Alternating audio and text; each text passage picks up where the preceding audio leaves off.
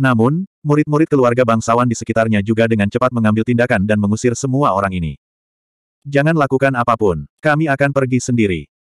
Segera, seniman bela diri lokal dari Kekaisaran Suan Besar segera pergi. Adapun seniman bela diri dari negara-negara sekitarnya, mereka diusir tanpa ampun. Winmun Tavern, yang awalnya dipenuhi orang, sekarang sudah tidak terlalu ramai, meninggalkan ruang kosong yang tak terhitung jumlahnya. Brengsek. Pemuda dari negara awan api meraung dengan marah. Dia ingin melakukan serangan balik lagi, tapi dia sekali lagi terlempar oleh api hijau. Saya tidak bisa menerima ini. Han Kun juga meraung dengan marah. Dia menggunakan domain logamnya dan menyerang lagi. Pada akhirnya, dia dikirim terbang dengan satu pukulan dari seorang murid keluarga bangsawan. Sial, beraninya kau menyentuh adikku. Aku akan melawanmu sampai mati. Pemuda tampan itu berada dalam hiruk pikuk, tapi dia tanpa ampun diusir oleh seorang murid keluarga bangsawan.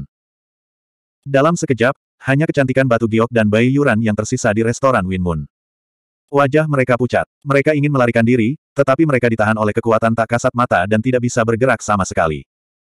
Baiklah, Akhirnya kita berhasil membuang semut-semut pengganggu itu. Sekarang, kita bisa ngobrol baik-baik. Para murid keluarga bangsawan tertawa dan berjalan maju. Namun segera, mereka mengerutkan kening, dan sedikit rasa dingin muncul di mata mereka. Karena mereka menyadari ada sosok yang sedang duduk di dekat jendela. Zhou Tian dan yang lainnya menyadari bahwa ada seseorang yang duduk di dekat jendela. Mereka sangat terkejut karena tidak menyangka akan ada orang yang berani berada di sini. Terlebih lagi, mereka tidak menyadarinya sebelumnya. Segera, wajah para murid keluarga bangsawan menjadi gelap, dan salah satu dari mereka berkata dengan dingin. Apakah kamu tuli? Kenapa kamu masih di sini? Keluar dari sini. Namun, sosok di kejauhan tidak bergerak. Dia terus bersandar di jendela dan minum sendirian. Melihat pemandangan ini, beberapa orang mengerutkan kening. Bahkan kecantikan batu giok dan bayi yuran pun bingung. Mereka tidak menyangka akan ada orang yang berani berada di sini. Mungkinkah orang ini ahli? Secercah harapan muncul di hati mereka. Namun tak lama kemudian, mereka tertawa getir. Karena mereka menyadari bahwa aura pihak lain sangat lemah. Dia baru saja memasuki alam raja. Bagaimana orang seperti itu bisa menjadi ahli? Sambil menghela nafas, mereka berdua tidak bisa tidak khawatir tentang sosok itu. Murid keluarga bangsawan yang memarahinya sebelumnya juga memiliki ekspresi gelap. Dia tidak menyangka pihak lain akan berani mengabaikannya. Hal ini membuatnya marah besar. Sesaat kemudian, dia tertawa kejam dan berteriak dengan dingin.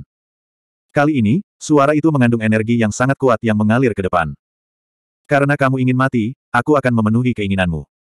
Suaranya berubah menjadi gelombang suara mematikan yang dengan cepat meledak ke depan. Gelombang suara ini sangat menakutkan. Bahkan ahli rilem Raja Bintang Dua tidak akan mampu memblokirnya, apalagi sosok di depannya. Ah! Jade Beauty dan Bayi Yuran berteriak kaget, sementara para murid keluarga bangsawan mencibir. Siapa pun yang berani melawan mereka pasti akan berakhir dalam keadaan yang menyedihkan.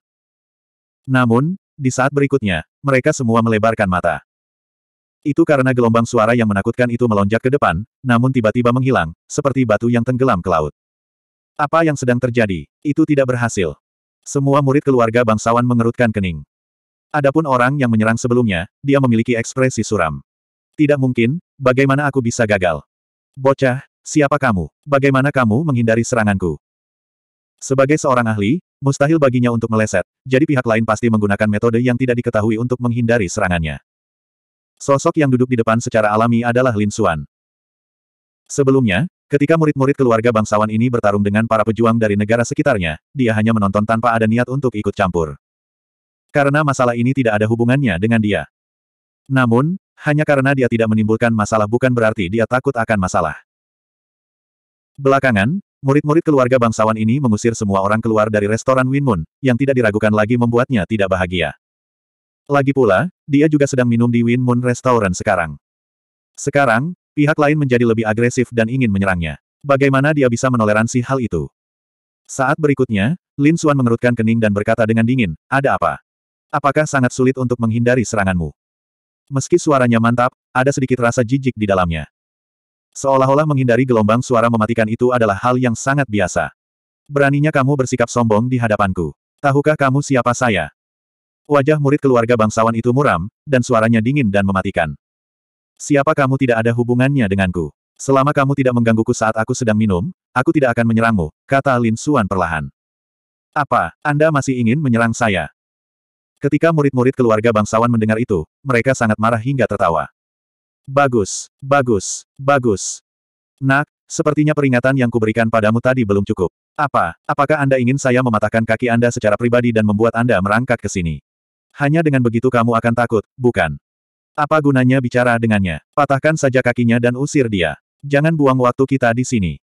Iya, tidakkah kamu melihat dua wanita cantik di sampingnya menunggu dengan cemas? Hahaha nak, kamu tidak tahu apa yang baik untukmu. Anggaplah dirimu tidak beruntung berada di garis tembak kami. Menurutku tidak perlu mengusirmu. Akan menyelamatkan kami dari banyak masalah jika kami membunuhmu. Baiklah, aku akan melakukannya. Aku akan membakarnya menjadi abu. Dengan begitu, tidak ada yang tersisa dan dia tidak akan merusak kesenangan kita. Zhou Tian berkata dengan acuh tak acuh, lalu dia menyerang dengan telapak tangannya. Sejujurnya, dia sama sekali tidak peduli dengan Lin Xuan. Karena dia sudah memeriksanya sebelumnya. Lin Xuan hanyalah Raja Bintang Satu. Jenis budidaya ini sama sekali tidak menarik baginya. Lagi pula, bahkan Raja Bintang Tiga pun mungkin tidak bisa menandinginya, apalagi Raja Bintang Satu. Saat berikutnya, nyala api hijau terbang keluar dari sela-sela jari-jarinya dan dengan cepat melayang menuju Lin Xuan. Saat mereka melihat api hijau, Jade Beauty dan Bai Yuran berteriak lagi. Ini bukan pertama kalinya nyala api hijau muncul, dan setiap kali nyala api itu menunjukkan kekuatan yang besar. Ketika si pembunuh menggunakannya lagi, pihak lain tidak akan bisa melawan. Mereka bukan satu-satunya. Praktisi seni bela diri kuno di sekitarnya juga berteriak ketakutan. Karena meskipun para praktisi seni bela diri kuno itu telah dikirim terbang, mereka tidak pergi. Mereka semua menonton dari sekitar rumah bordil Feng Yue.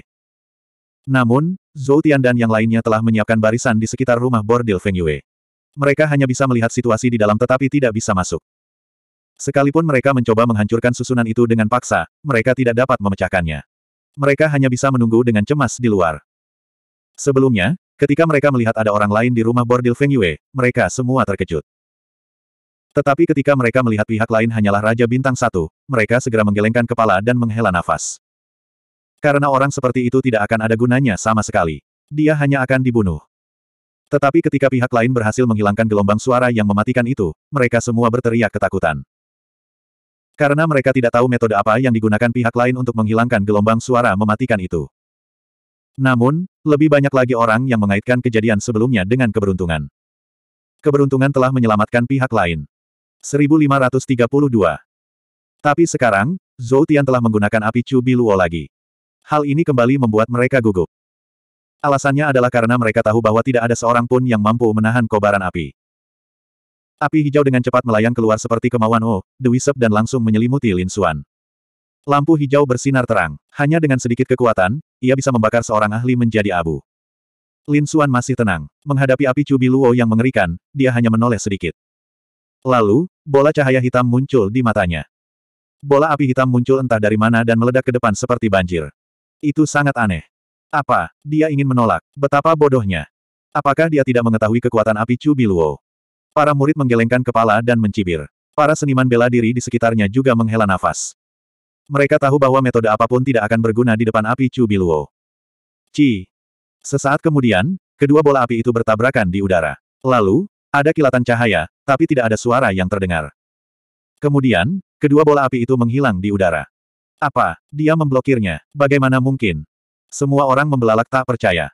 Para murid bahkan lebih terkejut lagi. Mereka tahu betapa kuatnya api Chu Biluo. Bahkan Raja Bintang Tiga pun tidak bisa menolaknya. Tapi sekarang, Lin Xuan telah memblokirnya. Tidak mungkin, apa aku melihat sesuatu? Dia memblokir api Chu Biluo. Bola api hitam apa itu? Bagaimana cara memblokir api Chu Biluo? Sial, siapa anak ini? Bagaimana dia melakukannya? Teriakan kejutan terdengar satu demi satu. Jelas sekali bahwa pemandangan ini benar-benar mengejutkan semua orang. Kali ini, bahkan Zhou Tian merasa cemas. Dia tidak berharap Lin Xuan mampu menahan api Chu Biluo miliknya. Para seniman bela diri di luar juga melebarkan mata mereka tak percaya seolah-olah mereka melihat hantu. Itu adalah api Chu Biluo. Bahkan Raja Bintang Tiga pun tidak bisa menolaknya. Itu sangat menakutkan dan tak terkalahkan. Tapi sekarang, itu diblokir oleh seseorang. Terlebih lagi, orang yang memblokirnya adalah Raja Bintang Satu. Ini terlalu sulit dipercaya. Pada saat ini, semua orang memandang Lin Xuan dengan bingung. Tidak peduli bagaimana mereka memandangnya, dia tidak terlihat seperti ahli yang tiada taranya. Mungkinkah anak ini menyembunyikan budidayanya? Wajah para murid keluarga bangsawan juga muram, sementara Zhou Tian mencibir, bagus, bagus, bagus, saya tidak berpikir bahwa saya akan salah menilai Anda. Anda juga seorang ahli. Tapi biarku beritahu, itu hanya serangan biasa. Tidak apa-apa jika kamu bisa menerimanya, tapi jika kamu bisa menerima seranganku berikutnya, maka aku akan terkesan. Namun, jika kamu tidak bisa menerimanya, maka kamu hanya bisa dibunuh. Inilah yang kamu dapat karena mempermainkanku. Saat dia berbicara, tubuhnya berkedip-kedip dengan cahaya. Api langit biru tanpa batas berkedip-kedip dengan cepat. Kemudian, telapak tangan besar yang menyala muncul tertiup angin. Aura menakutkannya menutupi langit dan mewarnai seluruh ruang menjadi hijau. Peng! Tangan hijau menyala itu menamparkan Lin Xuan. Di sisi lain, Lin Xuan mengangkat jarinya. Api hitam yang tak terhitung jumlahnya menari-nari di ujung jarinya, membentuk pedang panjang hitam yang dengan cepat menebas ke depan. Ledakan. Sesaat kemudian, telapak tangan Biluo bertabrakan dengan pedang panjang hitam, menyebabkan getaran yang mengerikan. Ini adalah dua nyala api yang sangat menakutkan. Saat mereka bertabrakan, dampaknya bahkan lebih menakutkan. Hanya gelombang kejut dari tabrakan saja mungkin bisa menghancurkan seluruh rumah bordil Feng Yue. Namun, yang mengejutkan semua orang, gelombang kejutnya tidak menyebar, dan rumah bordil Feng Yue tetap tidak terluka. Alasannya sederhana. Kontrol energi Lin Xuan dan Zhou Tian sangat tepat. Keduanya bertarung dalam jarak yang terkendali dan tidak menimbulkan kerusakan apa pun pada rumah bordil Feng Yue. Mengerikan sekali. Bahkan murid-murid keluarga bangsawan pun mengerutkan kening. Pihak lain tidak hanya memiliki api hitam misterius yang dapat bersaing dengan Bilu of Flames milik Zhou Tian, tetapi kendali energinya juga tidak lebih lemah dari milik Zhou Tian. Berdasarkan dua poin ini saja, pihak lain sudah pasti ahli. Tapi siapa orang ini? Mengapa mereka belum pernah melihatnya sebelumnya? Ekspresi Zhou Tian berubah serius saat melihat ini. Bagus, bagus, bagus. Aku tidak menyangka akan bertemu dengan ahli sepertimu di rumah bordil Feng Yue hari ini. Tapi jangan terlalu sombong. Selanjutnya, saya akan menunjukkan kekuatan saya yang sebenarnya dan memberitahu Anda kekuatan sebenarnya dari Bilu of Flames.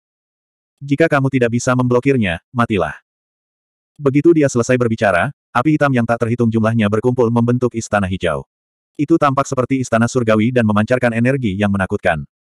Kemudian, Zhou Tian mengaktifkan istana Zamrud dan meledakkannya ke depan. Tiba-tiba, ledakan energi yang menakutkan menyapu Lin Xuan seperti badai. Ekspresi setiap orang berubah ketika mereka merasakan energi ini. Jade Beauty dan Bai Yuran dengan cepat mundur ke tempat yang aman. Para murid dari keluarga bangsawan juga tampak serius. Ini karena mereka belum pernah melihat Zhou Tian seserius ini sebelumnya. Bahkan ketika dia bertarung dengan prajurit dari negeri awan api, dia tetap santai dan tenang. Tapi sekarang, sepertinya Zhou Tian serius. Mungkinkah pemuda ini sangat menakutkan? Zhou Tian akan menganggapnya serius. Istana hijau itu misterius dan memancarkan energi yang tak tertandingi, menyebabkan semua orang gemetar. Namun, ekspresi Lin Xuan tetap tenang. Dia dengan cepat membentuk segel dengan telapak tangannya, dan binatang iblis hitam dengan cepat terbentuk. Itu adalah burung phoenix hitam yang memancarkan api hitam ke seluruh tubuhnya. Sangat menakutkan. Saat Lin Xuan mendorong telapak tangannya keluar, burung phoenix hitam itu meraung dan menyerang ke depan. Dia memancarkan fluktuasi energi yang menakutkan yang membuat semua orang gemetar ketakutan. Cahaya hitam bersinar dan menerangi seluruh langit. Burung phoenix hitam yang menakutkan terbang dengan cepat di langit seperti binatang mitos sungguhan.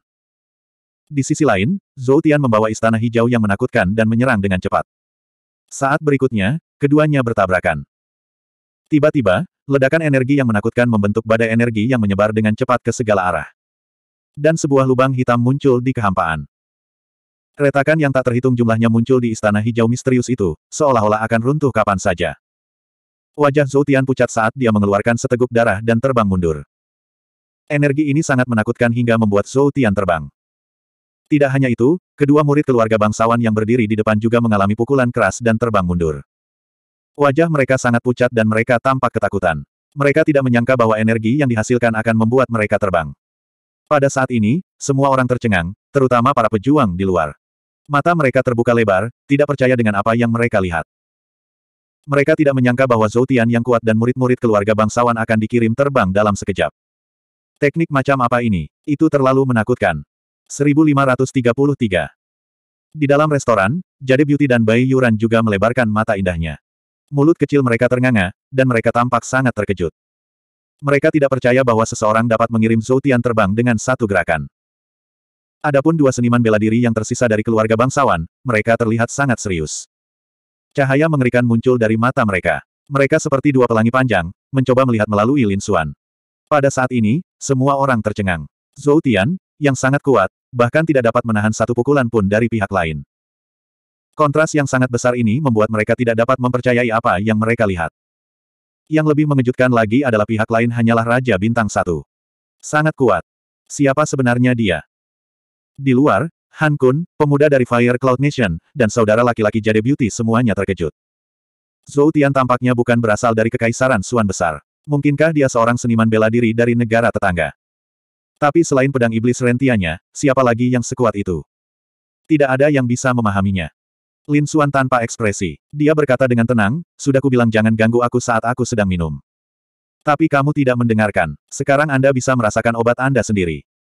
Dengan itu, dia menggelengkan kepalanya sedikit dan mengabaikan kerumunan itu. Dia duduk kembali, mengambil secangkir anggur roh, dan meminumnya perlahan. Mengejutkan, itu terlalu mengejutkan. Dia mengirim Zoutian dan kedua muridnya terbang dengan satu gerakan, tapi itu seolah-olah itu adalah hal yang paling normal. Ekspresinya tenang, dan dia tidak terkejut ataupun senang. Ini adalah pembangkit tenaga listrik yang sesungguhnya. Dia bisa mengejutkan semua orang hanya dengan mengangkat tangannya. Suara mendesing. Di sisi lain, Zhou Tian dan kedua muridnya dengan cepat kembali. Mereka seperti kilat dan muncul di depan Lin Xuan lagi. Rambut Zhou Tian acak-acakan, dan ekspresinya garang. Dia bertanya dengan dingin, sial, siapa kamu? Sejujurnya, dia memang kaget. Dia tidak percaya seseorang bisa mengirimnya terbang dengan satu gerakan. Apalagi dia sangat percaya diri dengan Blue Sky Fire miliknya. Bahkan Raja Bintang Tiga bukanlah tandingannya. Tapi sekarang, pihak lain, Raja Bintang Satu, telah mengirimnya terbang. Dia tidak bisa mempercayainya. Di sampingnya, kedua murid itu semakin kaget karena hanya tersapu gempa susulan. Namun, gelombang kejut masih membuat mereka terbang. Mereka tidak bisa menerima ini dan menatap tajam ke arah Lin Xuan. Tidak masalah siapa saya, yang penting adalah Anda tidak menindas orang lain di masa depan. Jika tidak, suatu hari nanti, nasibmu akan lebih buruk dari sekarang. Lin Xuan melirik beberapa dari mereka dan berkata dengan jelas. Kamu mendekati kematian. Zhou Tian meraung marah dan dengan cepat menyerang. Diledakan di depan umum membuatnya kehilangan muka, jadi dia hanya bisa membunuh anak di depannya ini untuk melampiaskan kebencian di hatinya dan membersihkan namanya.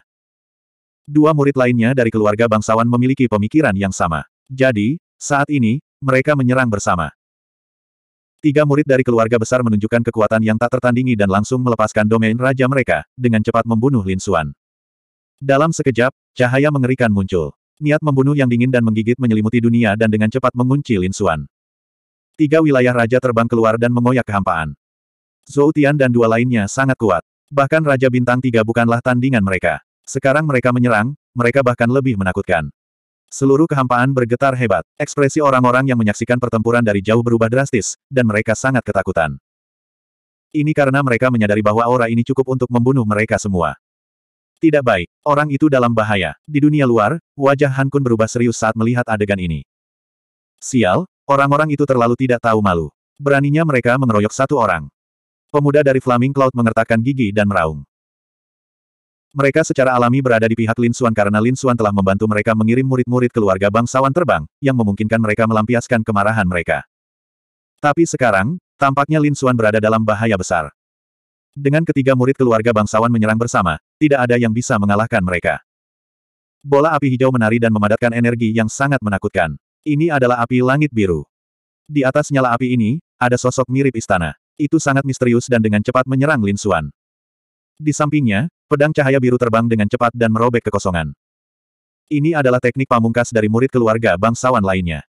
Orang terakhir juga sama menakutkannya. Cahaya putih, seperti cahaya ilahi, dikelilingi oleh aura pembunuh, sangat dahsyat. Ketiganya menyerang dengan kekuatan ekstrim. Dalam sekejap mata, tiga serangan mematikan tiba di depan Lin Xuan dan menebasnya. Tubuh Lin Xuan juga memancarkan api hitam, yang dengan cepat bertemu dengan api langit biru. Pada saat yang sama, pedang tajam Ki melonjak dan bertemu dengan aura pembunuh dingin yang menggigit.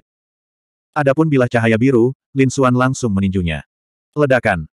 Tinju itu terbungkus dalam pedang Ki hijau, dan dengan keras menghantam pedang cahaya biru itu. Segera, suara benturan logam terdengar. Suaranya bergetar, dan langsung merobek kehampaan. Sedangkan untuk bilah cahaya biru, dengan cepat bergetar dan terlempar. Dalam sekejap, cahaya pada bilah cahaya biru meredup secara signifikan, tapi tidak retak. Bisa dibayangkan bahwa itu pasti merupakan harta yang berharga. Engah. Bila cahaya biru itu terlempar, dan salah satu murid segera mundur tiga langkah. Wajahnya pucat, dan dia mengeluarkan seteguk darah. Dia tidak menyangka lawannya sekuat itu. Dalam sekejap, jurus pamungkasnya terlempar, dan dia juga terluka parah. Ketika masyarakat sekitar melihat pemandangan ini, mereka bahkan tidak sempat berseru. Situasi di medan perang berubah lagi. Pada saat berikutnya, Lin Xuan langsung menggunakan alam pedang naga. Segera, Pedang hijau Ki menyerang dengan cepat. Boom booming. Cahaya ilahi putih dan api langit biru keduanya terkena pedang tajam Ki. Mereka langsung terlempar, dan cahayanya meredup. Engah. Zhou Tian dan murid lainnya juga memuntahkan seteguk darah, dan wajah mereka penuh dengan keterkejutan.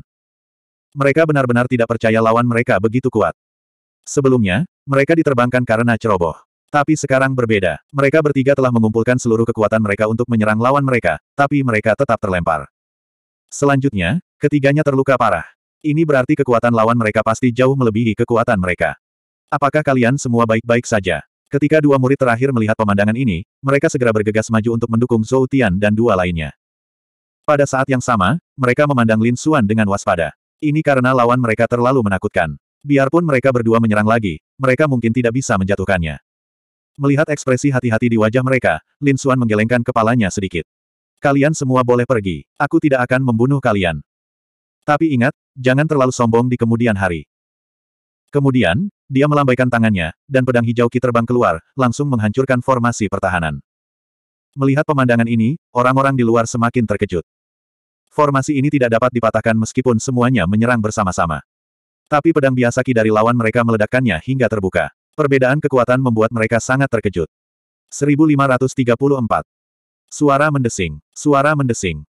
Suara mendesing. Para prajurit di luar segera bergegas masuk ketika mereka melihat susunannya rusak. Yang paling cepat masuk adalah saudara laki-laki Jade Beauty, Han Kun, dan pemuda dari negeri awan api. Kakak, kamu baik-baik saja. Pemuda tampan itu datang ke sisi Jade Beauty dan bertanya dengan prihatin. Prajurit lainnya juga datang ke sisi Bai Yuran dengan gugup. Lalu, mereka semua datang ke Lin Xuan. Pahlawan muda, terima kasih telah menyelamatkan adikku. Saudara laki-laki Jade Beauty dan para prajurit dari keluarga Bai memandang Lin Xuan dengan rasa terima kasih. Jade Beauty dan Bai Yuran juga mendatangi Lin Xuan dan membungkuk perlahan. Tuan muda, terima kasih telah menyelamatkan kami. Keduanya tersipu dan menatap Lin Xuan dengan kekaguman yang mendalam di mata mereka. Tindakan Lin Xuan sebelumnya seperti pahlawan yang menyelamatkan keindahan. Ketika kedua wanita cantik itu dalam bahaya, Lin Xuan dengan santai melukai musuh. Kejutan semacam ini langsung menyentuh lubuk hati mereka. Selain itu, Lin Xuan sangat kuat dan tampan. Orang seperti itu adalah pahlawan di hati para gadis muda. Selain itu, dunia ini memuja yang kuat. Jadi tidak aneh jika Jade Beauty dan Bai Yuran memuja Lin Xuan. Lin Xuan tersenyum dan berkata, kamu terlalu sopan. Ini hanya masalah kecil, tidak ada gunanya disebutkan. Dengan itu, Lin Xuan sedikit mengangguk kepada mereka dan berbalik untuk pergi. Tunggu. Melihat Lin Xuan hendak pergi, Jade Beauty dan Bai Yuran menjadi gugup dan sedikit kecemasan melintas di mata indah mereka. Aku belum menanyakan namamu. Dari mana asalmu sehingga aku bisa membalas budimu di masa depan? Tidak dibutuhkan. Lin Xuan menggelengkan kepalanya sedikit dan berbalik lagi. Jade Beauty dan Bai Yuran menghela nafas saat melihat ini. Ada kekecewaan mendalam di wajah mereka. Dan orang-orang di sekitarnya semakin patah hati saat melihat pemandangan ini. Tak perlu dikatakan lagi, kedua wanita cantik ini masih mencintai Lin Xuan. Kemungkinan besar, akan sulit bagi orang lain untuk berhasil. Yang lebih mengejutkan mereka adalah Lin Xuan tidak tergerak sama sekali. Dia langsung pergi tanpa meninggalkan namanya. Kita harus tahu bahwa ini adalah dua wanita cantik yang tiada taranya. Jika mereka memberi isyarat, mungkin akan ada puluhan ribu seniman bela diri yang akan mempertaruhkan nyawa demi mereka. Tapi sekarang, dia telah pergi dengan tegas tanpa ragu sedikit pun. Ini benar-benar mengejutkan mereka. Tunggu. Tepat ketika semua orang mengira Lin Xuan akan pergi, suara rendah lainnya terdengar. Kemudian, beberapa sosok menghalangi jalannya. Ketika mereka melihat orang-orang itu, kerumunan orang terkejut. Adapun Lin Xuan, dia mengerutkan kening. Ini karena orang-orang yang menghalangi jalannya tidak lain adalah Zhou Tian dan murid-murid lain dari keluarga bangsawan. Apa, kamu masih belum yakin? Apakah kamu masih ingin bertarung? Namun, jika kamu terus memukulnya, itu tidak sesederhana hanya melukainya. Tatapan Lin Xuan agak dingin. Tidak, kamu salah paham. Kami tidak punya niat menyerang lagi. Zhou Tian dengan cepat menggelengkan kepalanya dan berkata, kami hanya ingin berteman denganmu. Betul, Kak. Dari mana asalmu? Siapa namamu? Di mana warisan sektemu? Mengapa kamu tidak datang ke keluarga Zhou? Saya pasti akan memberikan perawatan terbaik. Jangan khawatir, kamu bukan budak, tapi tamu terhormat. Benar, keluarga kami juga akan memberikan perawatan terbaik padamu, Kak. Semua orang tercengang saat mendengar itu. Lin Xuan juga terkejut. Dia tidak menyangka murid-murid dari keluarga bangsawan ini ada di sini untuk memenangkan hatinya. Namun, ini bukanlah ambisinya, jadi dia menggelengkan kepalanya sedikit. Tidak perlu. Ada urusan lain yang harus kuurus. Kemudian, sosoknya melintas dan langsung menghilang di tempat. Saudara laki-laki. Para murid dari keluarga bangsawan masih ingin mengatakan sesuatu, tetapi mereka menyadari bahwa pihak lain telah menghilang. Mereka tidak dapat menangkapnya sama sekali. Gerakan tubuh macam apa itu? Mereka terkejut dan membelalakan mata. Gerakan tubuh seperti ini di luar pengetahuan mereka. Melihat sosok Lin Xuan yang pergi, setiap orang memiliki perasaan yang berbeda. Jade Beauty dan Bai Yuran sedikit sedih. Kakak Jade Beauty tidak tahan untuk menonton lebih lama lagi dan harus menghiburnya. Kakak, jangan berkecil hati. Orang itu sangat kuat. Dia mungkin ada di sini untuk berpartisipasi dalam konferensi seni bela diri. Benar, konferensi seni bela diri. Dia harus berada di sini untuk berpartisipasi dalam konferensi seni bela diri. Jade Beauty sangat senang. Di sampingnya, mata Bai Yuran juga bersinar. Setelah mendengar itu, semua orang di sekitar mereka mengangguk. Memang benar, pihak lain telah muncul saat ini dan sangat kuat. Dia harus berada di sini untuk konferensi seni bela diri. Zhou Tian dan murid-murid lain dari keluarga bangsawan terus mengangguk ketika mereka mendengar itu. Lalu, mereka menjadi bingung. Aku ingin tahu pangeran mana yang mengundang tuan ini. Mungkinkah itu pangeran ketiga? Bisa juga pangeran sulung. Hanya mereka yang bisa mengundang tuan muda seperti itu. Semua orang mengangguk. Mereka harus pergi ke konferensi seni bela diri untuk melihatnya. Mungkin mereka benar-benar bisa bertemu dengannya. Bahkan jika mereka tidak bertemu dengannya, mereka tidak akan melewatkan kesempatan besar seperti itu. Konferensi seni bela diri tidak seserius yang dibayangkan semua orang. Itu tidak seserius yang terjadi di atas ring. Itu adalah permainan antara pangeran dan putri. Berdasarkan kemampuan keluarga kerajaan, hal itu tidak akan terjadi. Sebaliknya, itu atas nama pembelajaran satu sama lain. Yanbo Villa adalah tempat yang sangat terkenal di kota kekaisaran. Itu adalah kota kuno yang memiliki sejarah ribuan tahun. Dikabarkan bahwa sebuah villa telah dibangun ketika kekaisaran Suan besar didirikan. Konferensi seni bela diri diadakan di Misty Wave Mountain Villa. Pagi itu, seluruh kota kekaisaran sedang gempar.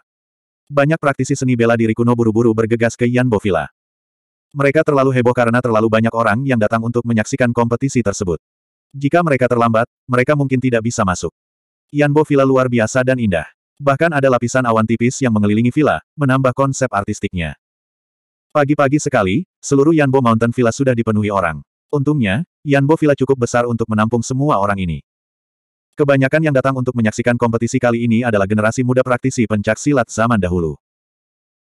Pada saat ini, dapat dikatakan bahwa semua elit dan talenta dari keluarga bangsawan di Kekaisaran Suan Besar telah berkumpul di sini. Tidak hanya itu, para praktisi seni bela diri kuno yang jenius dari negara-negara sekitarnya juga telah datang. Dapat dikatakan bahwa ini adalah peristiwa besar yang langka. Bahkan ada orang yang memasang taruhan di sini. Untuk sesaat, bisa dikatakan sangat meriah. Tentu saja, yang difavoritkan untuk menang adalah Jiang Nantian, bawahan pangeran ketiga. Ada juga Han Li, bawahan pangeran pertama. Kedua orang ini bisa dikatakan tak tertandingi di kalangan generasi muda kekaisaran Suan Besar. Dan dalam konferensi seni bela diri kali ini, nama kedua orang inilah yang paling terkenal. Di Misty Wave Mountain Villa, di antara kerumunan, seorang pria gemuk berjubah emas sedang melihat sekeliling. Dia sepertinya sedang mencari seseorang. Lemak Luo, apa yang kamu cari? Saya berani bertaruh dengan Anda bahwa Anda pasti tidak akan menemukannya. Di sampingnya, seorang pemuda bertubuh kurus berkata sambil tersenyum. 1535. Lemak Luo, apa yang kamu cari? Saya yakin Anda tidak akan menemukannya. Seorang pemuda kurus di sampingnya berkata sambil tersenyum. Penjudi, Anda hanya tahu bagaimana menghabiskan sepanjang hari. Apakah Anda tahu hal lain? Fatih Luo tidak sabar. Jangan ganggu aku. Aku sedang mencari seseorang. Mencari seseorang. Biar ku tebak. Aku yakin itu seorang wanita. Haha, kali ini kamu salah menebak. Itu laki-laki. Brengsek. Fatih Luo, kapan kamu mengubah orientasimu? Kenapa aku tidak tahu? Pemuda itu tanpa sadar mundur dua langkah. Pergilah. Kaulah yang mengubah orientasimu. Itu adalah seseorang yang saya temui dalam perjalanan. Dia sangat menarik. Saya pikir dia harus berpartisipasi dalam konferensi seni bela diri. Oh, siapa itu? Para pemuda tertarik. Lupakan saja, aku tidak menemukannya. Aku akan memberitahumu saat dia mulai bergerak. Si gendut Luo menggelengkan kepalanya. Kemudian, keduanya kembali ke kerumunan dan menghilang. Di sisi lain, Zhou Tian dan murid keluarga bangsawan lainnya juga menyapa orang-orang. Namun, Zhou Tian dan yang lainnya agak linglung seolah-olah mereka juga sedang mencari seseorang.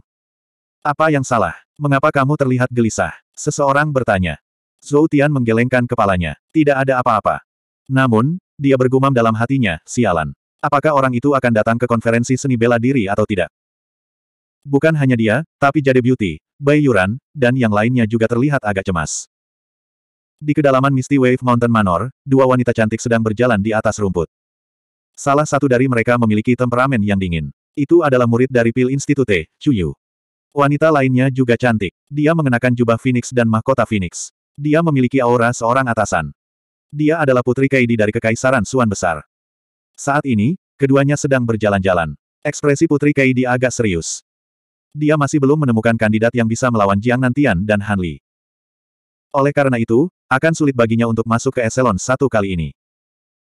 Putri Kaidi memikirkan sesuatu dan perlahan bertanya, Ngomong-ngomong, apakah orang yang kamu ceritakan ada di sini?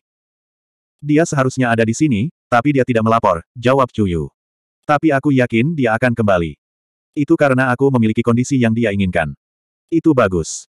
Mendengar ini, Putri Kaidai mengangguk, tapi dia tidak terlalu peduli. Menurut informasi yang dia terima, orang itu paling banyak adalah Raja Bintang Dua. Namun, yang paling tidak dia miliki adalah seseorang yang bisa melawan Jiang Nantian dan Han Li. Putri, sudah hampir waktunya. Ayo pergi, kata Chuyu. Baiklah, Putri Kaidai mengangguk.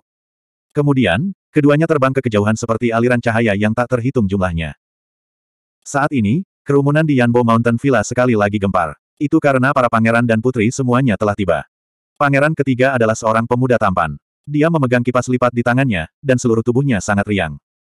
Para ahli yang tak terhitung jumlahnya berkumpul di sekelilingnya. Mereka semua sangat kuat, membuat orang-orang mengaguminya. Sebaliknya, pangeran pertama berbeda. Dia kekar seperti Vingot dan memancarkan aura yang mendominasi. Ekspresinya seolah-olah dia adalah penguasa dunia. Ketika pangeran pertama dan pangeran ketiga tiba, mereka saling berpandangan. Dengan mendengus dingin, pangeran pertama memimpin penari berbakatnya ke sebuah paviliun. Adapun pangeran ketiga, dia menyipitkan matanya dan membawa semua orang ke paviliun lain. Semua orang menahan napas karena terkejut. Mereka tidak menyangka bahwa dua pangeran terkuat akan mengambil tindakan. Namun, saat ini, seseorang berteriak, lihat, Putri Kaidai juga telah tiba. Putri Kaidai bisa dikatakan seorang legenda. Di antara banyak pangeran kekaisaran Suan besar, dia berdiri di eselon 2. Dia pasti bisa dikatakan sebagai putri surga yang diberkati. Oleh karena itu, kedatangannya menimbulkan keributan besar. Ini karena Putri Kaidai bukan hanya seorang legenda, tapi dia juga memiliki kecantikan yang menakjubkan. Gabungan daya tariknya tidak kalah dengan pangeran pertama dan pangeran ketiga. Itu pasti Peri Chuyu, kan? Semua orang melihat ke depan dan menemukan bahwa di samping Putri Kaidai berdiri seorang wanita yang dingin dan menyendiri. Keduanya turun seperti makhluk abadi. Kemudian, banyak seniman bela diri yang kuat berjalan maju. Segera, mereka berhenti di depan Putri Kaidai. Mereka adalah bawahan Putri Kaidai. Sekelompok orang juga menempati sebuah paviliun. Setelah mereka, ada pangeran dan putri lainnya. Segera, paviliun di sekitarnya terisi semua. Dan di tengahnya ada sebuah danau besar. Warnanya hijau tua seperti baru dicuci. Pertempuran nantinya akan dilakukan di danau ini. Pada awalnya, ini dianggap sebagai beberapa pertandingan pemanasan. Beberapa pangeran biasa mengirimkan bawahannya untuk berdebat. Namun meski begitu, semua orang tetap menonton dengan senang hati. Karena tidak ada satupun dari mereka yang bisa naik panggung yang lemah. Yang terlemah adalah Raja Bintang 2. Lin Xuan juga telah tiba, tapi dia datang agak terlambat. Pada saat dia tiba, pertempuran antar pangeran telah dimulai. Dia berdiri di tengah kerumunan seperti penonton, diam-diam menyaksikan pertempuran. Suara-suara yang familiar terdengar dari depan. Ternyata yang ikut adalah Han Kun. Meskipun Han Kun adalah seorang seniman bela diri dari negeri Giok Emas, dia datang kali ini untuk berpartisipasi dalam konvensi seni bela diri.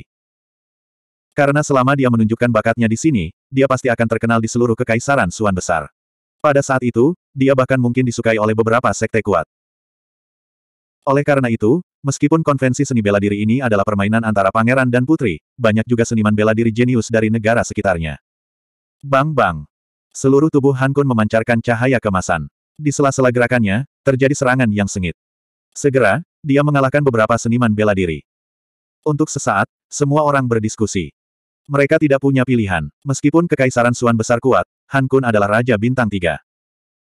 Orang-orang biasa bukanlah tandingannya, kecuali mereka adalah murid dari keluarga kuat seperti Zhou Tian. Saat semua orang berdiskusi, para pangeran dan putri tidak tahan lagi.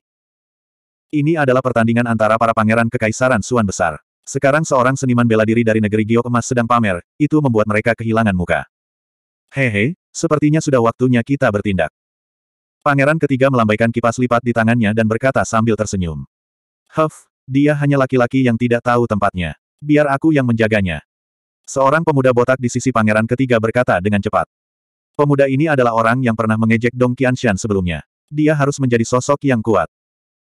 Pada saat ini, melihat biksu darah mengambil inisiatif untuk meminta perlawanan, pangeran ketiga tersenyum. Dengan kamu mengambil tindakan, aku lega. Suara mendesing. Sesaat kemudian, sosok Blood Monk melintas dan dia muncul di arena. Dia melayang di atas danau, seluruh tubuhnya memancarkan aura yang kuat. Nak, aku akan bermain denganmu. Aku akan memberitahumu bahwa ini adalah kekaisaran Suan Besar. Ini bukan tempat di mana kamu bisa berperilaku kejam. 1536. Nak, aku akan bermain denganmu. Aku akan memberitahumu bahwa ini adalah kekaisaran Dasuan. Ini bukan tempat di mana kamu bisa berperilaku kejam. Hah? Han Kun mendengus dingin. Dia datang kali ini untuk membuat nama untuk dirinya sendiri. Oleh karena itu, dia secara alami senang melihat pihak lain adalah seniman bela diri yang kuat. Hanya dengan mengalahkan seorang jenius dia bisa dengan cepat menjadi terkenal. Membunuh. Dengan raungan marah, Han Kun langsung melepaskan domain logam. Seluruh tubuhnya tampak tertutup lapisan emas, bersinar dengan cahaya keemasan seperti raksasa emas. Dengan sebuah pukulan, cahaya keemasan memenuhi seluruh langit. Haha, trik kecil, lihat aku menghancurkanmu. Di seberangnya, biksu darah tertawa keras. Dia juga melepaskan domain berwarna darah yang mengeluarkan bau darah yang mengerikan. Dalam sekejap, matanya menjadi sangat merah, dan sepasang sayap berwarna darah muncul di punggungnya. Pedang berwarna darah di tangannya berwarna merah cerah dan memancarkan niat membunuh yang mengerikan. Pada saat ini, pemuda sombong ini sepertinya telah berubah menjadi iblis, dikelilingi oleh cahaya berwarna darah. Merusak. Sambil tertawa dingin, biksu darah mengayunkan pedang berwarna darah di tangannya. Tiba-tiba, cahaya pedang berwarna darah meledak. Itu sangat menakutkan dan menyapu seluruh langit. Cahaya pedang berwarna darah ini terlalu menakutkan. Itu seperti sungai berwarna darah yang mengguncang kehampaan. Pada saat berikutnya, sebuah cahaya menyala, dan pedang berwarna darah memotong kepalan emas menjadi dua. Tidak hanya itu, seluruh kekosongan terbelah, dan retakan hitam muncul. Danau di bawahnya menimbulkan ribuan ombak yang menerjang ke segala arah. Apa, itu rusak? Murid Han Kun mengerut. Dia tidak menyangka serangan pihak lain akan begitu sengit. Dalam sekejap mata, cahaya pedang berwarna darah redup masih menebas ke arahnya. Mundur. Sosoknya bergoyang, dan dia berubah menjadi seberkas cahaya keemasan dan dengan cepat mundur. Ingin pergi, itu bukan terserah kamu. Biksu darah tertawa sinis, dan pedang di tangannya bergetar lagi. Seketika, delapan sinar merah menyala keluar dari tubuhnya. Lampu pedang berwarna darah ini terlalu menakutkan.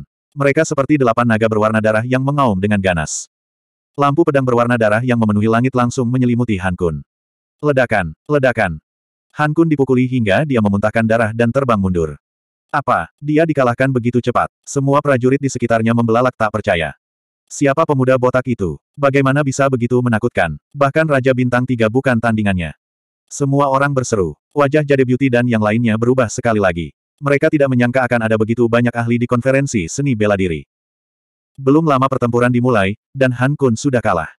Huff. Dengan sedikit kemampuanmu, jangan datang ke sini untuk mempermalukan dirimu sendiri. Biksu Sue tampak garang dan menghina. Siapa ini? Sangat kuat. Kau bahkan tidak mengenalnya. Dia adalah biksu berdarah, Peringkat ke-9 di bawah pangeran ketiga. Semua orang berdiskusi.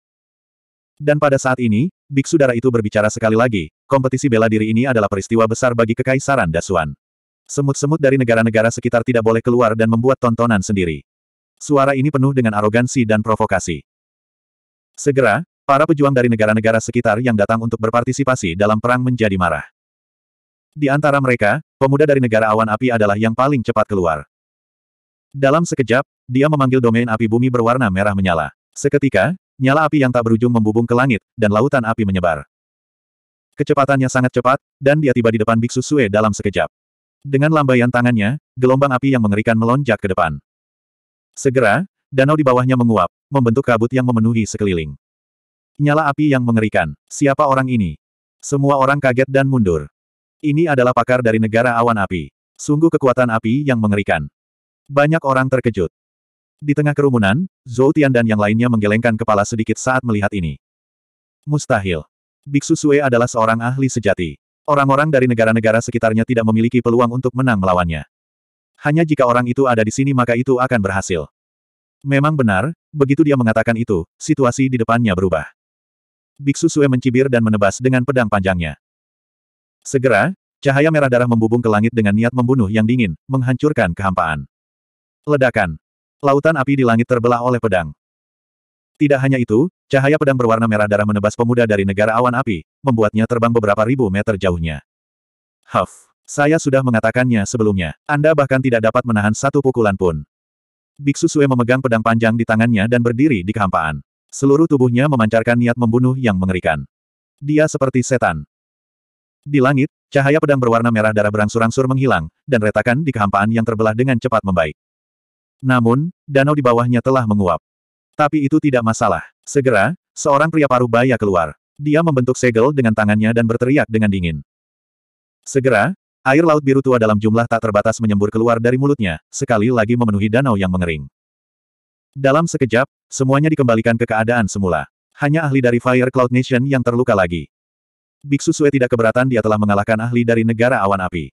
Kemudian, dia mengalihkan pandangannya dan menatap Putri Kaidi. Saya mendengar bahwa Putri Kaidi baru-baru ini menerima seorang ahli misterius yang bahkan mengalahkan Dong Qianshan. Saya ingin tahu di mana dia berada. Apakah Anda ingin bertempur dengannya? Mendengar hal tersebut, penonton berseru kaget. Di sisi lain, wajah Dong Qianshan sangat suram. Matanya dipenuhi dengan niat membunuh. Tercela, terlalu tercela, lawannya jelas sedang memoleskan garam ke lukanya. Huh, dengan adanya pangeran ketiga di sini, mustahil baginya untuk melawan Biksu Sue, jadi dia hanya bisa mendengus. Di saat yang sama, senyuman dingin muncul di sudut mulutnya. Menurutnya, meskipun Biksu Sue lebih kuat darinya, dia mungkin tidak akan mampu mengalahkan lawannya. Kemungkinan besar Biksu Sue akan dikalahkan seperti dia. Memikirkan hal ini, dia langsung menikmati kemalangan Biksu Sue. Para seniman bela diri di sekitarnya juga berseru kaget. Berita kekalahan Dong Qianshan sudah menyebar. Mereka juga telah mendengarnya. Pada saat ini, Ketika mereka melihat Biksu Sue akan menantang ahli misterius itu, mereka langsung tertarik. Banyak orang bertepuk tangan dan bersorak. Namun, suasana di sisi Putri Kaidi sedikit berbeda. Itu karena Lin Xuan tidak datang sama sekali. Ekspresi Chuyu sedikit canggung saat dia bergumam di dalam hatinya, orang terkutuk itu, apa yang dia lakukan? Kenapa dia belum juga muncul? Para ahli di bawah komando Putri Kaidi juga tampak tidak puas. Huh, ahli misterius apa? Dia mungkin hanya seorang pengecut. Dia belum muncul sampai sekarang. Bagaimana bisa seorang pengecut seperti itu disebut ahli? Orang terkutuk itu, dia tidak berani muncul. Dia tidak mempermalukan kita dengan sia-sia. Orang-orang ini sangat tidak puas dengan ahli misterius itu. Di tengah kerumunan, Fatilwo juga berseru pelan. Matanya berkedip. Kenapa kamu tidak menebak siapa ahli misterius itu? Oh, Anda ingin bertaruh dengan saya. Di sampingnya, pemuda itu berkata sambil tersenyum, saya yakin orang ini pastinya bukan orang biasa. Dia sudah ada di sini. Bagaimana Anda tahu? Luo gemuk bertanya. 1537. Karena ini taruhan, tentu saja ini hanya tebakan. Apa, apakah Anda berani bertaruh? Ayo bertaruh. Apa menurutmu aku takut padamu? Si gendut Luo mendengus. Di sisi lain, Zhou Tian dan yang lainnya mengerutkan kening saat mendengar ini. Entah kenapa, sebuah sosok tiba-tiba muncul di benak mereka. Sial, keduanya tidak mungkin orang yang sama, kan? Mereka memikirkan pemuda tampan yang telah mengalahkan mereka di Wind Moon Brothel. Ketika mereka memikirkan kemungkinan ini, mereka menghirup udara dingin. Di tengah kerumunan, mata Lin Xuan berkedip. Pihak lain secara alami membicarakannya, tetapi dia tidak segera mengambil tindakan. Menurutnya, pihak lain tidak sepadan dengan waktunya. Pihak lain berada di peringkat ke-9 di bawah pangeran ketiga dan lebih kuat dari Dong Qianshan, tapi tidak banyak. Sejujurnya, Lin Xuan tidak tertarik pada orang seperti itu. Orang yang benar-benar ingin dia lawan adalah Jiang Nantian dan Han Li. Keduanya memiliki reputasi besar di kalangan generasi muda Kekaisaran Suan Besar. Dalam perjalanannya, dia mendengar banyak legenda tentang mereka. Hanya orang seperti itu yang layak menjadi lawannya. Jadi, meski pihak lain sombong, dia tidak bergerak. Setelah menunggu lama, tidak ada yang keluar. Ekspresi Biksu Sue berubah seram saat dia melihat ke arah Putri Kaidi lagi. Apa, mungkinkah sang putri tidak ingin dia keluar? Orang itu memang diundang olehku, tapi bukan terserah padaku apakah kamu bisa membuatnya bertarung atau tidak, kata Putri Kei di acuh tak acuh. Dari awal hingga akhir, dia tenang dan tenang, dengan ekspresi tenang.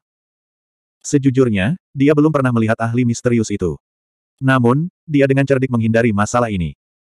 Jika pihak lain tidak bergerak, itu berarti Biksu Sue tidak memiliki kemampuan.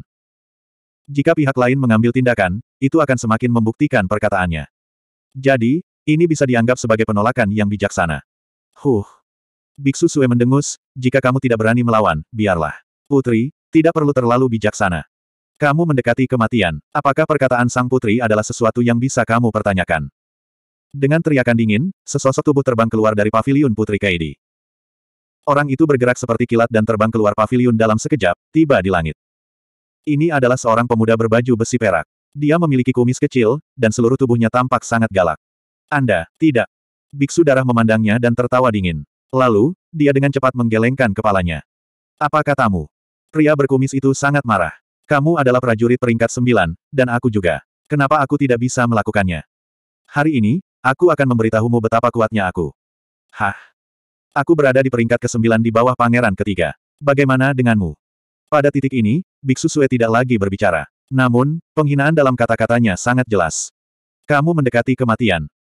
Marah, pria berkumis itu mengepalkan tinjunya, dan tombak perak dengan cepat muncul di tangannya. Lalu, dia mengacungkan tombaknya. Seperti sambaran petir berwarna perak, ia melesat melintasi kehampaan, dan aura menakutkan langsung menyembur keluar. Dentang.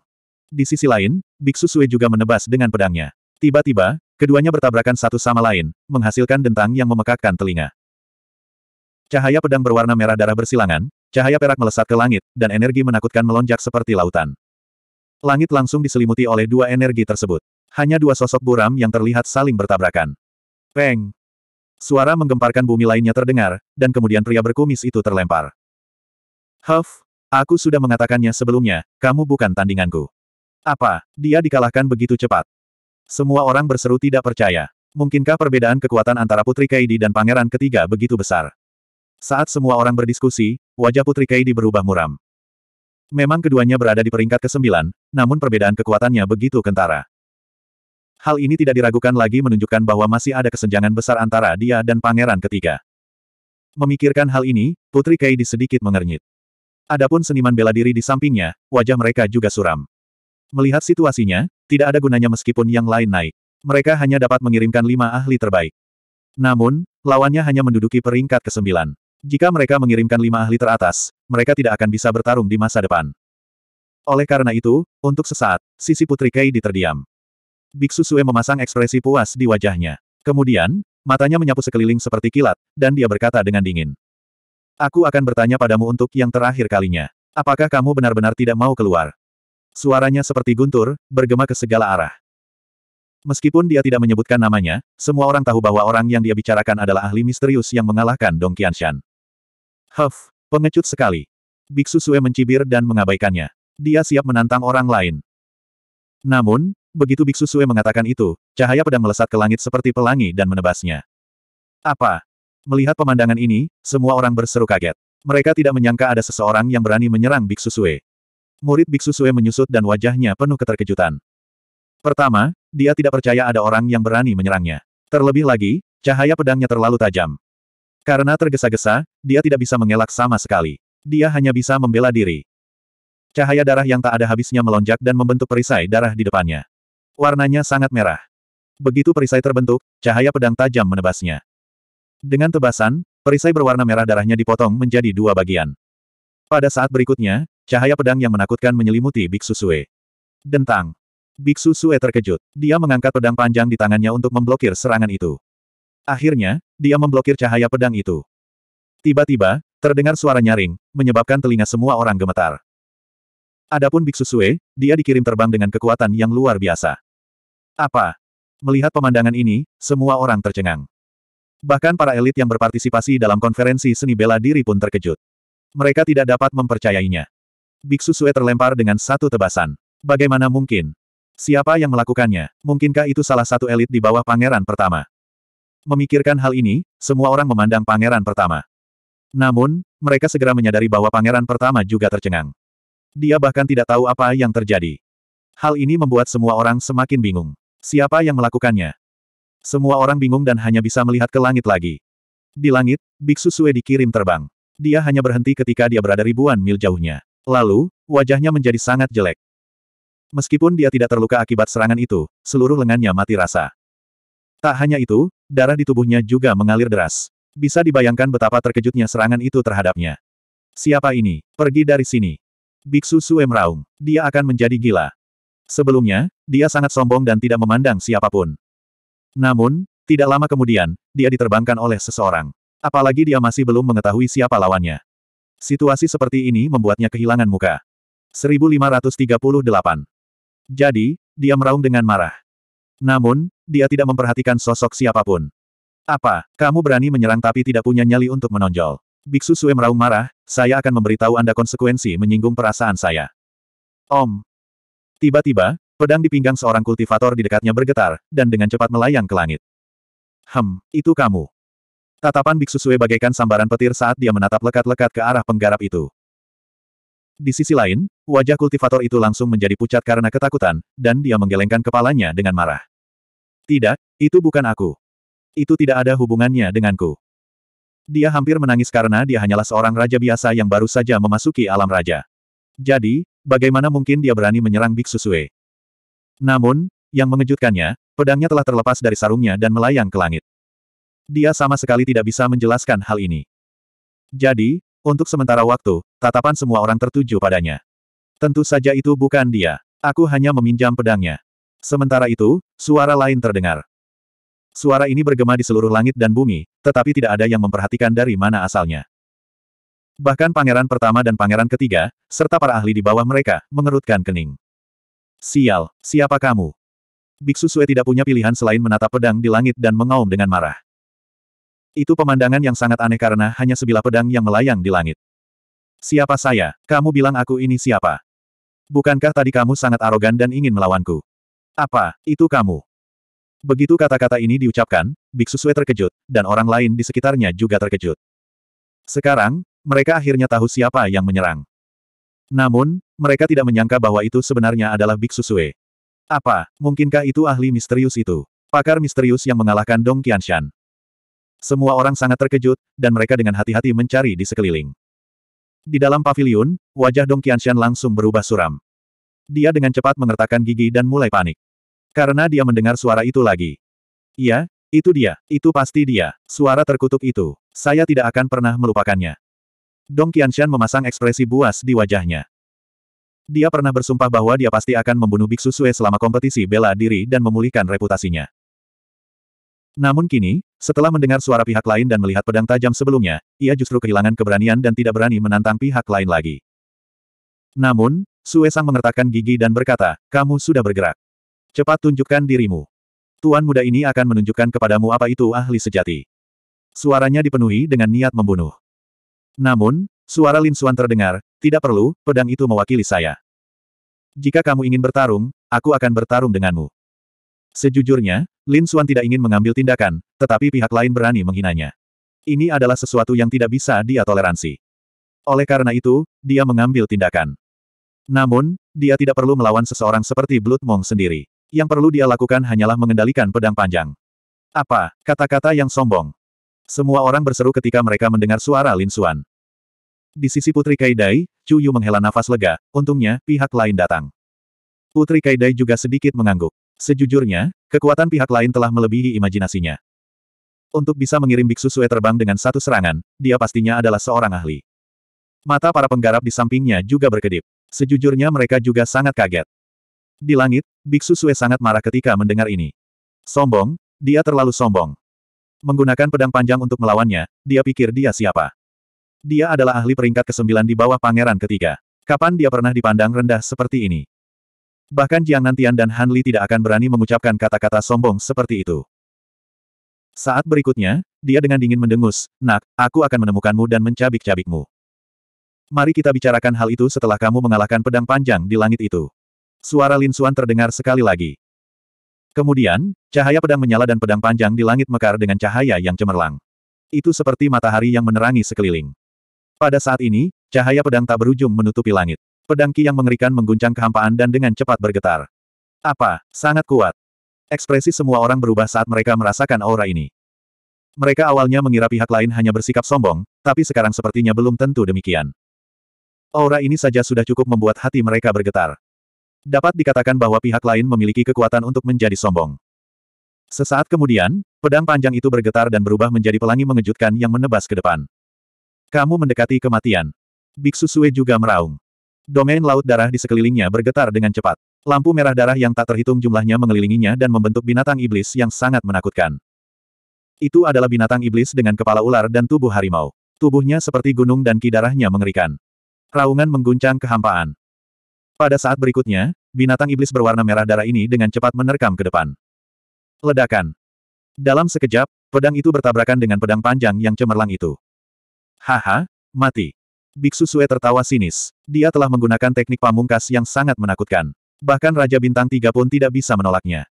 Belum lagi pedang yang hanya setengah pangkat bumi. Yang lain juga berseru karena tidak ada yang optimis dengan peluang Lin Xuan. Aura Biksu Sue terlalu kuat. Dia seperti Raja Iblis tiada taraf yang memancarkan aura menakutkan. Engah. Namun, pada saat berikutnya, semua orang tercengang karena binatang iblis berwarna merah darah seperti gunung itu ditebas oleh pedang. Apa? Bagaimana ini mungkin? Semua orang terkejut. Tubuh mereka gemetar dan mata mereka dipenuhi ketakutan. Teknik macam apa ini? Bagaimana dia bisa menebas serangan mengerikan itu dengan satu pedang? Ekspresi Biksu Sue berubah drastis. Dia menggelengkan kepalanya dengan panik. Mustahil. Ini hanya pedang panjang setengah tingkat bumi. Bagaimana pedang itu bisa memotong seranganku? Dia tidak bisa mempercayainya. Namun, di saat berikutnya, dia meraung dengan marah. Brengsek. Itu karena pedang panjangnya tidak hilang. Sebaliknya, itu menebas ke arahnya dengan kekuatan yang lebih kuat. Nyah. Biksu Sue sangat marah. Dia mengangkat pedangnya untuk menghadapi serangan itu. Pedang panjang berwarna merah darah melonjak dan menghasilkan lautan darah yang tak terbatas. Itu bertabrakan dengan pedang panjang dan bertabrakan dengannya. Gemuruh. Suara tabrakannya memekakkan telinga. Itu seperti gelombang dahsyat yang menghantam segala arah. Langit melonjak dan retakan hitam besar muncul di langit dan menyebar ke segala arah. Serangan ini terlalu mengerikan. Dentang. Sesaat kemudian, pedang panjang di tangan Biksu Sue retak dan patah menjadi dua. Apa? Bagaimana ini mungkin? Murid Biksu Sue menyusut. Dia tidak bisa mempercayainya. Namun, di saat berikutnya, dia menjerit kesakitan karena pedang panjang itu telah menebas tubuhnya. Engah.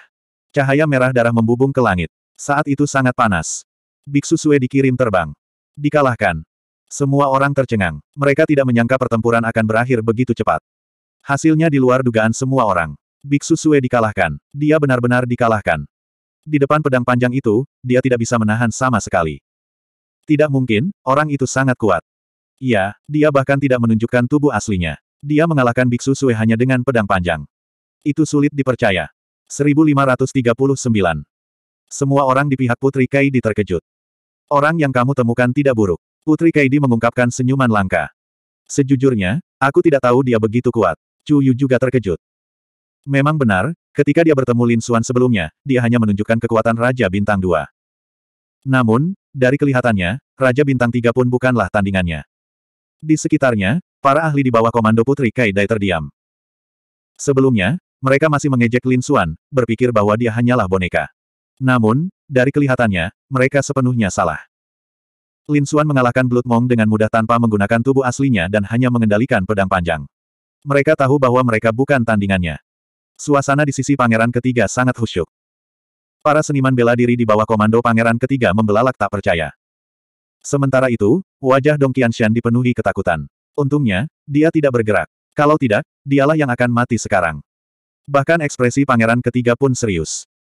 Sejujurnya, bahkan dia tidak menyangka biksu darah akan dikalahkan secara menyeluruh. Seketika, dia mendengus tidak senang. Huh, apa yang dilakukan biksu darah sampah ini? Dia memalukan bagi kami.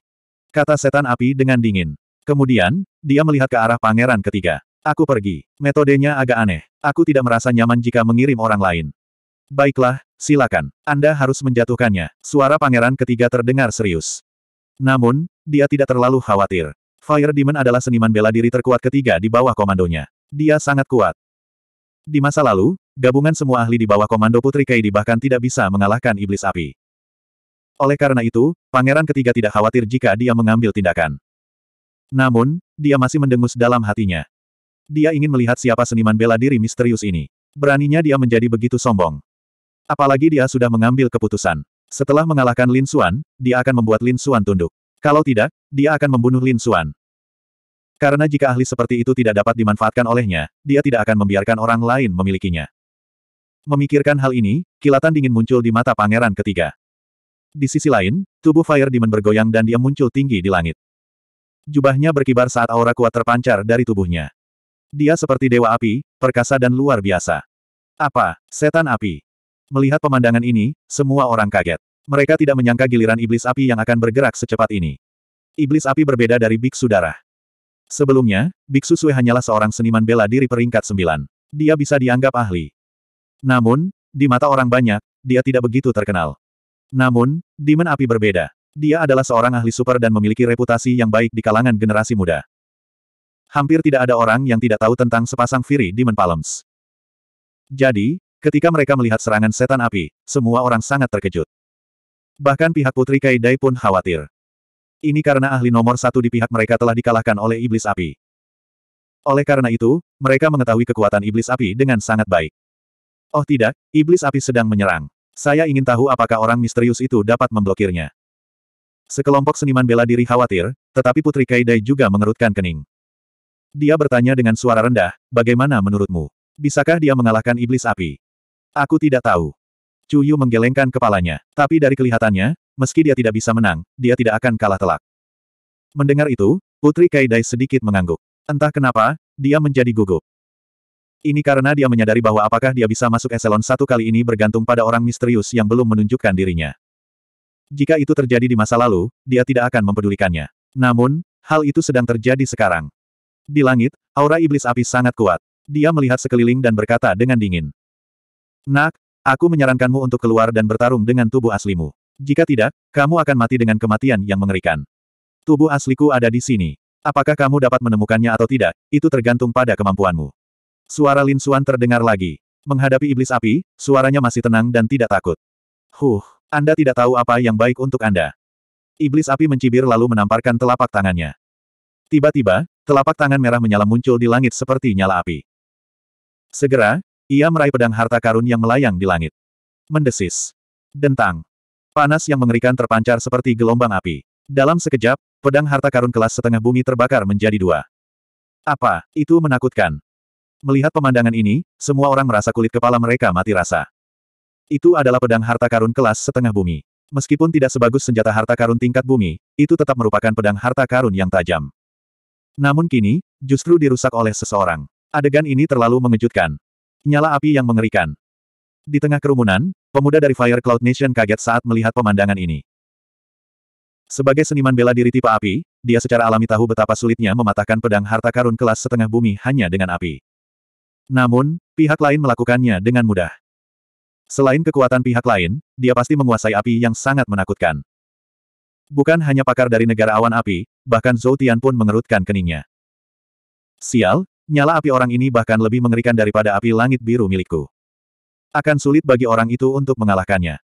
Di sisi lain, Fatih Luo menggosok tangannya. Saudaraku, aku bertaruh kamu akan menang. Kamu harus bertahan untukku. Di sampingnya, pemuda itu menggelengkan kepalanya. Fatih Luo, kamu terlalu berani. Kamu sebenarnya bertaruh pada seseorang yang belum pernah kudengar. Aku berani bertaruh kamu pasti kalah kali ini. Faktanya, itulah yang dipikirkan semua orang. Hampir semua orang bertaruh pada Fire Demon. Setan api terlalu kuat, tidak peduli seberapa kuat orang misterius itu, dia tidak akan mampu mengalahkannya. Hehe nak, pedangmu sudah patah. Keluarlah. Iblis api mencibir, ekspresinya sangat arogan. Di tengah kerumunan, Lin Xuan juga sedikit mengernyit. Dia tidak menyangka api pihak lain begitu mengerikan sehingga bisa menghancurkan pedang harta karun kelas setengah bumi dengan mudah. Menarik. Kamu tidak buruk. Kamu layak untuk waktuku, kata Lin Xuan acuh tak acuh sambil mengangguk. Saat suara ini terdengar, menimbulkan keributan di antara kerumunan. Bahkan wajah iblis api menjadi gelap. Nak, kamu berhasil membuatku marah. Sebaiknya kau jangan biarkan aku menemukanmu. Kalau tidak, kau akan mati dengan mengenaskan. Namun, yang menjawabnya adalah serangan yang dahsyat. Pedang patah itu berkembang dengan cahaya yang cemerlang. Kemudian, dua aliran pedang ki yang mengejutkan menebas ke depan. Kamu sedang mendekati kematian. Iblis api sangat marah dan melambaikan telapak tangannya. Di saat yang sama, cahaya merah menyala meluap ke langit, menembus kehampaan. Adapun energi pedang itu, terlalu tajam. Pedang ki bersilangan dan cahayanya membubung ke langit. Aura menakutkan membuat hati semua orang bergetar. Pedang itu menebas, membelah semua bayangan palem merah menyala. Pada saat ini, Pedang yang patah itu seperti pedang dewa yang tiada taraf, tak terkalahkan. 1540. Pedang ki macam apa ini? Ini terlalu menakutkan. Orang ini pastilah pendekar pedang yang tiada taranya. Semua orang terkejut. Pangeran pertama, pangeran ketiga, putri Kaidai, dan bawahan mereka semuanya memasang ekspresi serius. Ini karena mereka menemukan bahwa kekuatan pihak lain melebihi ekspektasi mereka. Kau mendekati kematian, istirahatlah untukku. Iblis api sangat marah karena pedang tajam Ki itu membuatnya merasa sangat tidak nyaman. Itu bahkan membuatnya merasa gentar. Dia hanya merasakan perasaan ini dari Jiang Nantian dan Han Li. Namun dia tidak menyangka bahwa seorang seniman bela diri misterius akan mampu membuatnya merasa seperti ini. Dia tidak bisa menerima ini. Perasaan tidak nyaman ini membuat iblis api menjadi marah. Pada saat berikutnya, dia mengulurkan telapak tangannya dan cahaya cemerlang muncul. Tiba-tiba, Telapak tangan merah besar terbentang seperti awan api, menutupi langit dan bumi, menyelimuti seluruh pedangki. Tujuannya sangat sederhana. Dia ingin menyempurnakan semua pedangki. Ledakan. Telapak tangan merah menyala jatuh, membawa suhu yang mengerikan. Dia, sang iblis api, terkenal dengan sepasang telapak tangan iblis api miliknya. Telapak tangannya menyatu dengan api yang sangat mengerikan. Nyala api ini bahkan lebih mengerikan daripada api langit biru yang legendaris. Dengan demikian, dapat dikatakan bahwa tidak ada sesuatu pun yang tetap utuh di bawah telapak tangannya. Dia percaya bahwa pedang ki pihak lain juga sama. Pada saat ini, melihat iblis api menggunakan telapak tangan iblis api, semua orang terkejut. Seniman bela diri di pihak pangeran ketiga juga mengangguk terus-menerus. Bahkan beberapa tokoh generasi tua di villa tersebut sangat terkejut. Banyak pakar generasi tua mengangguk satu demi satu. Mereka sangat optimis dengan iblis api ini karena dengan bakat dan kekuatannya, pencapaiannya di masa depan pasti tidak terbatas. Ledakan. Telapak tangan setan api yang menakutkan terbentang, membawa gelombang panas yang tak ada habisnya, langsung menguapkan danau di bawah. Tidak hanya itu, beberapa retakan juga pecah di ruang hampa tersebut. Seluruh langit mendidih seperti ketel uap besar, menyebabkan wajah semua orang menjadi pucat. Beberapa yang lebih lemah bahkan langsung terlempar setelah serangan telapak tangan ini. Tapi untungnya, tidak ada satupun orang yang hadir yang lemah. Setelah peringatan awal, mereka dengan cepat menyesuaikan pertahanan mereka dan mundur ke jarak yang aman. Saat berikutnya, mereka melihat ke depan dan berteriak ketakutan. Karena di langit, dua garis pedang ki bergetar dengan cepat, memancarkan cahaya yang cemerlang. Kemudian, mereka berubah menjadi seberkas cahaya pedang yang tak terhitung jumlahnya yang membubung ke langit. Aura kuat itu terlalu tajam. Bahkan di lingkungan gelombang panas ini, semua orang masih merasa kedinginan. Huff. Mati. Iblis api mendengus dingin saat seluruh kekuatan di tubuhnya melonjak ke telapak tangannya lagi. Tiba-tiba, Fire Demon Palem mengeluarkan cahaya yang sangat terang. Dalam sekejap, itu menyelimuti semua lampu pedang. Ledakan, ledakan. Suara tabrakan yang mengerikan terdengar seperti guntur, bergema di seluruh dunia. Sepuluh ribu pedang berdentang serempak, seolah ingin menghancurkan segalanya. Namun, pada akhirnya, seluruh pedang Ki masih diselimuti oleh telapak tangan iblis api. Tidak hanya itu, seluruh kehampaan terdistorsi oleh panas, dan energi spiritual semua orang menguap. Hahaha. Berat, pedang Kimu hilang. Cepat keluar. Setan api mengangkat kepalanya dan tertawa. Adapun para prajurit di bawah pangeran ketiga, mereka semua bersorak, hebat, iblis api sangat kuat. Itu wajar, Demon api menduduki peringkat ketiga. Huff. Bocah itu sombong sekali. Dia sebenarnya berani meremehkan iblis api. Sekarang dia tahu betapa kuatnya aku. Pakar misterius apa? Menurutku dia biasa saja. Huff. Kenapa tidak ada gerakan apa pun? Saya kira bocah itu pasti sangat ketakutan dan tidak berani keluar sama sekali. Sisi pangeran ketiga tertawa liar, sementara yang lain berseru. Di sisi Putri Kaidi, suasananya khusyuk. Benar saja, dia masih kalah. Tidak ada pilihan. Iblis api terlalu kuat. Beberapa prajurit menggelengkan kepala dan mendesah. Ekspresi Putri Kaidi juga serius. Apakah kita benar-benar akan kalah? Dia telah mengetahui bahwa kekuatan ahli misterius itu bahkan lebih mengerikan daripada ahli nomor satu di sisinya. Namun meski begitu, dia masih belum bisa mengalahkan iblis api. Apakah dia benar-benar tidak bisa masuk tingkat pertama? Hahaha, Putri Kaidi, jangan dinanti-nantikan lagi. Apakah Anda memiliki orang lain yang ingin bergabung dalam pertempuran? Jika tidak, aku akan menantang orang lain. Di langit, ekspresi iblis api terlihat liar. Dia sama sekali tidak menaruh perhatian pada sisi Putri Kaidi. Para prajurit di bawah pangeran ketiga juga tertawa, iblis api, jangan buang waktu. Lawan kita adalah pangeran pertama. Itu benar, pangeran ketiga mengangguk. Dia hanya punya satu musuh, dan itu adalah pangeran pertama. Dia tidak menaruh perhatian pada yang lain, termasuk Putri Kaidi. Baiklah. Iblis api mengangguk dan bersiap untuk menantang pangeran pertama. Tapi saat ini, dia mengerutkan kening. Di sisi pangeran ketiga, senyuman di wajahnya langsung membeku. Para seniman bela diri di sekitarnya semuanya tercengang. Ini karena cahaya pedang yang tajam menyala di langit, mengguncang kehampaan saat pedang itu menebas dari telapak tangan iblis api yang menakutkan. Di langit, lautan api melonjak dan gelombang udara bergulung. Retakan besar muncul, yang dibelah oleh pedang ki. Tidak hanya itu, ada banyak retakan di celah tersebut. Seluruh langit sepertinya telah terpotong-potong.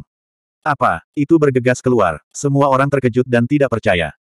Pihak pangeran ketiga bahkan lebih terkejut lagi. Ini karena cahaya pedang yang mengejutkan, seperti pelangi ilahi yang terang, menerangi langit dan menebas dari telapak tangan iblis api. Tidak hanya itu, cahaya pedang dengan cepat menebas ke arah iblis api. Ekspresi iblis api segera berubah. Dia tidak menyangka pedang kilauan masih ada, dan itu sangat tajam. Mungkinkah telapak tangan iblis api miliknya telah kehilangan efeknya? Sial, bagaimana ini mungkin? Ekspresi iblis api sangat jelek, tapi sekarang bukan waktunya untuk berpikir terlalu banyak. Ini karena pedang Ki masih menebas ke arahnya. Dentang, dentang, dentang. Bang. Meskipun iblis api sangat kuat, dan telapak tangan iblis api miliknya tak tertandingi di dunia, dia tetap tidak bisa melawan pedang Ki. Telapak tangan iblis api miliknya sangat merah, dan ketika bertabrakan dengan pedang Ki, terdengar getaran yang nyaring. Seluruh kehampaan bergetar dengan cepat seolah-olah itu adalah lukisan yang terus bergulir. Adegan ini mengejutkan semua orang. Mereka tidak pernah membayangkan bahwa iblis api akan gagal. Kita harus tahu bahwa telapak tangan iblis api sangat menakutkan dan bisa melelehkan segalanya. Tapi sekarang, itu tidak bisa menghancurkan pedang Ki yang terang. Berdengung. Tiba-tiba, ribuan cahaya pedang menyala di langit dan dengan cepat bergabung membentuk naga biru mengejutkan yang meraung ke segala arah. Akhirnya, pedang Ki berbentuk naga berputar di kehampaan dan bergegas ke depan. Oh tidak. Ekspresi iblis api berubah drastis saat dia merasakan pedang Ki. Ini karena pedang Ki berbentuk naga begitu menakutkan hingga membuatnya bergidik. Dia tahu bahwa pedang Ki ini masih bisa menjadi ancaman baginya. Karena itu, dia tidak ragu-ragu dan segera mundur. Namun, pedang ki berbentuk naga terlalu menakutkan. Itu mempesona dan membawa aura pembunuh yang mengerikan. Itu dengan cepat turun dan menyelimutinya.